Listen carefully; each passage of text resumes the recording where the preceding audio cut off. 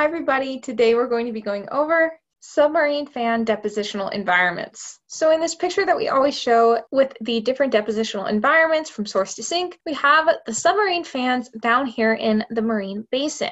And these are similar to alluvial fans, which we went over in the first video of the depositional system playlist. So if you want to know about fan deposition in general, you can watch the alluvial fan video. But in this video, we're going to be going over more specifically submarine fans and how they're different than alluvial fans, as well as their distinct characteristics in terms of preservation, said structures, and stratigraphy. So, one way submarine fans are different than alluvial fans is that a lot of submarine fans are long and thin rather than wide semicircles. This is likely because water can allow grains to remain suspended for longer periods of time and therefore stretch out the entire depositional system. Another thing that really gets the forward momentum going in terms of submarine fan deposition is the steepness of the slope that causes the deposition of submarine fans. Now, why are these slopes so steep? Well, these slopes start at the shelf edge, and the shelf edge marks the edge of the continent. And so after that, you have oceanic crust, and oceanic crust is very thin compared to continental crust. So you have this really big change in topography, which makes an environment similar to the adjacent to mountain environments that we find alluvial fans on in terrestrial settings. So what else controls the morphology and geometry of a submarine fan depositional system? Well, for example, one important factor would be be how many sources are there? This goes for alluvial fans too. If it's a point source, meaning one channel feeding the alluvial fan, it's going to go from a really specific point and fan out. Whereas if it's an entire slope that fails, it's going to be more of a slump feature. And therefore, the morphology is greatly affected by whether it's a single point source submarine fan, which is shown in all three of the top images here, or it's a multiple point source submarine fan shown in the middle row of images, or if it's an entire slope failure, which is shown in the bottom row. And then the columns here just represent whether the system is mud rich on the left, sand rich in the middle, or gravel rich on the right. Now, in terms of these systems, we can already tell that there is a greater elongation in the systems where it's a single point source or multiple point source compared to an entire slope failure. And this is because in single point source systems, you have a more confined channel that allows for the traveling of the sediment over a longer area. Whereas in the entire slope failure, you're not going to have one channel or a couple channels. It's going to be the entire slope that goes, and therefore it's going to expand over a wider but less long area. Additionally, as we move to the right, we can see that the greater the size of the grains, the wider and shorter the system becomes as well. This is because coarser grains will deposit first. Mud and silt sized grains will obviously be able to stay in suspension for longer and travel further outward. So the two or three-ish types of submarine fans that are typically what is being referred to in the case of, for example, this lecture, when I say submarine fan, is shown in the upper left corner of this figure. So typically a more muddy or sandy environment because gravel submarine fans are not that common, and typically a more point source or multiple point source system rather than a slope failure because a point source is necessary when we're talking about a fan morphology. You have to have that one point for sediment to go down to actually fan out once it deposits its sediments. If it's an entire slope, you're not really going to get that fan morphology. So we're probably going to be focusing on that upper left corner more so than the bottom right settings shown in this figure. So to zoom in on a submarine fan type system a little bit more, what we have here is the shelf, then the shelf edge, then the slope, then the basin floor. And what we have going through the shelf edge, the slope, and then to the basin floor is what's called an incised canyon. And this canyon is what feeds the submarine fan. You have sediment that feeds through those canyons and then down to the basin floor where it fans out, forming submarine fans. So here's another image of what the system can look like. And what we have is a river feeding deltaic sediment to the shelf and then sediment further out down the canyon and down to the abyssal fan, for this case, a submarine fan. And what you'll see in succession from further inshore to further offshore offshore is the slope with the canyon in it, and then you'll have first debris flow and channel deposits, and then later in the more distal part of the system, you'll have turbidity flow deposits or turbidites or depositional lobes at the end of the channels with turbidites at the distal part of those lobes. And we'll talk about what turbidite means later. But first, we'll go through what kind of the stratigraphy is in each main part of the system. We have the slope of the canyon where slump features may be present with coarser grain deposits in the canyon and nothing really depositing necessarily on the slope itself. And then you have debris flows which have cohesive plastic flows which are laminar. And because debris flows are laminar, remember they don't sort grains. So debris flow deposits or debrites are commonly composed of coarse unsorted sand and gravel in elongate lobe structures. And then you have confined channel deposits. If there is a channel that forms down on the basin floor, you'll have the canyon feed that channel, and then deposition in that channel will be most likely lateral accretion along inner bends like point bar deposits, which we talked about in the fluvial depot environment video. Check that out if you haven't seen it. Additionally, you'll have steep cut banks and levee deposition on the outer bends, and then you'll have ichnofacies present in these deposits as well. And this is important to point out because if you're looking at a point bar deposit and clearly you know it's some sort of fluvial channel deposit, how do you know whether it's a subaerial system or subaqueous system? Well, if you see marine ichnofacies, then that's when you know it's a subaqueous system. And so ichnofacies are important when it comes to determining whether it's subaqueous or subaerial. Moving on to turbidites, we have turbidity flows that occur at the distal end of submarine fans and in crevasse splay deposits from the submarine channels, shown in the figure on the right, and also at the distal edges of the depositional lobes, also shown here in the figure on the right. And then the depositional lobes themselves terminate each submarine channel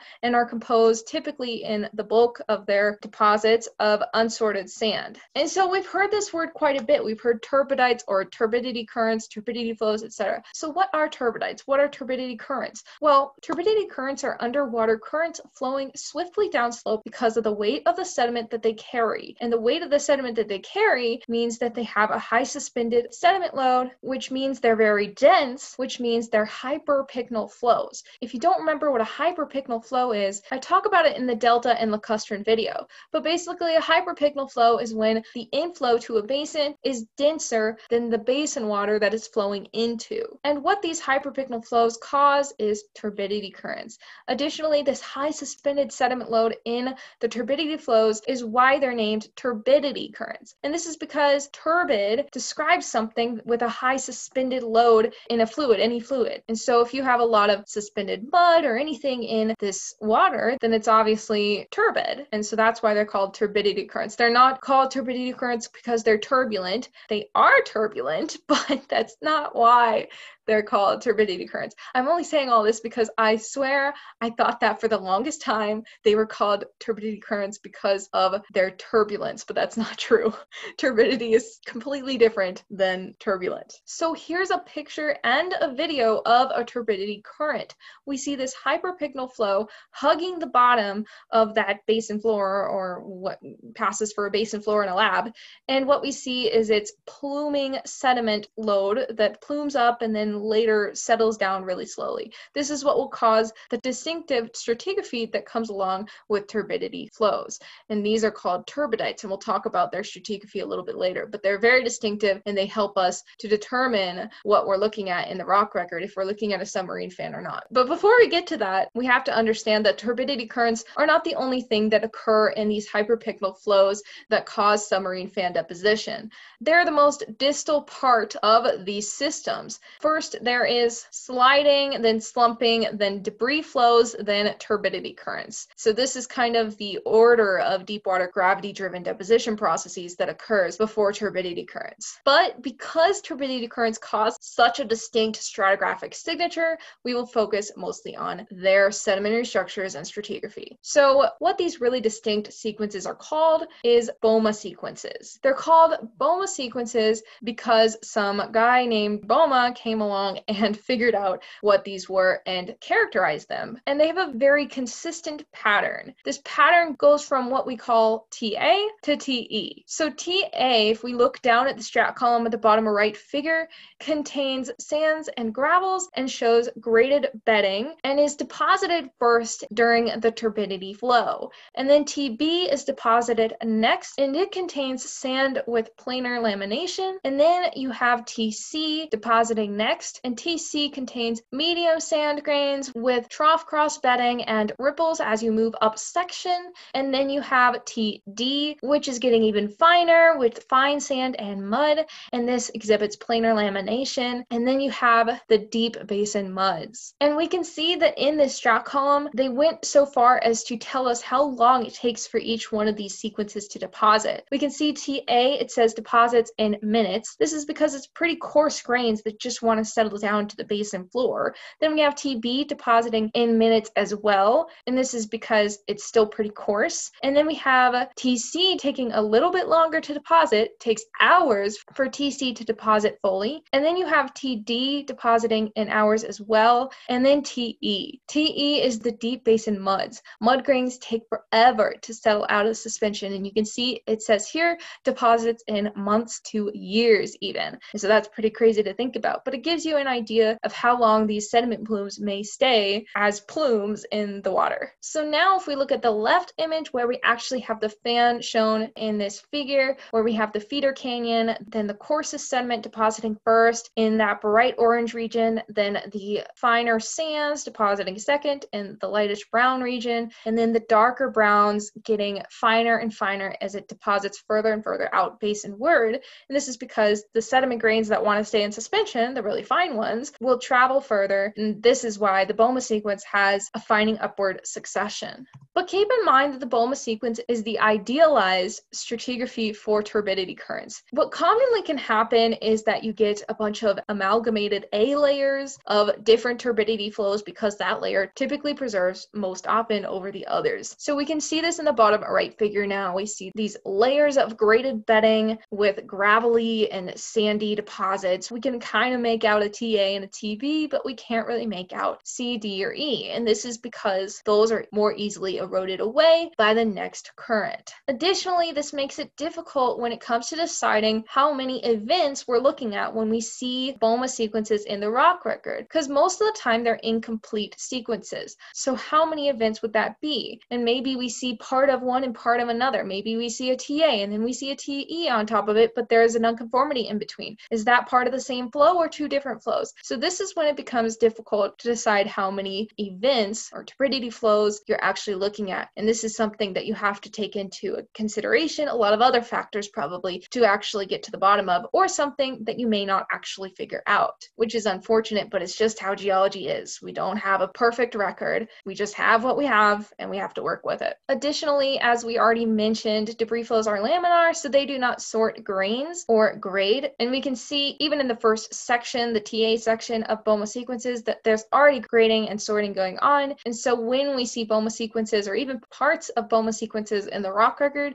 we can pretty much know that we're looking at a more distal part of a submarine fan system rather than the more proximal debris flow part, which would be less sorted. And another indication of being in the more distal part of the system is sedimentary structures that indicate waning flow. These can include the fining upward succession as well as climbing ripples. Climbing ripples are a good indication of waning flow. And we can see in this outcrop, we have a pretty nice section of a Bouma sequence. They nicely labeled for us the T, B, C, D, and E sections of this outcrop. And we can see that in the B section, we've got the more sandy planar laminated section. And then we move up to the rippled section. And then we have another planar laminated section. And then we have a finer, more muddy section. Here's another real life example of a preserved turbidite or Bouma sequence. We have here at least a little bit of TA with some coarser sand grains and maybe a little bit of gravel exhibiting normal grading. And then we have TB with a little bit of finer grains and they exhibit planar bedding. And then we have the beautiful climbing ripples in this section. And then they have this TD and E section up at the top, but I don't know how much you could trust that unless you're there looking at the rock yourself. But basically, we have a beautiful TA, TB, and TC in this section. And lastly, I wanted to include one example of what I said was actually most common,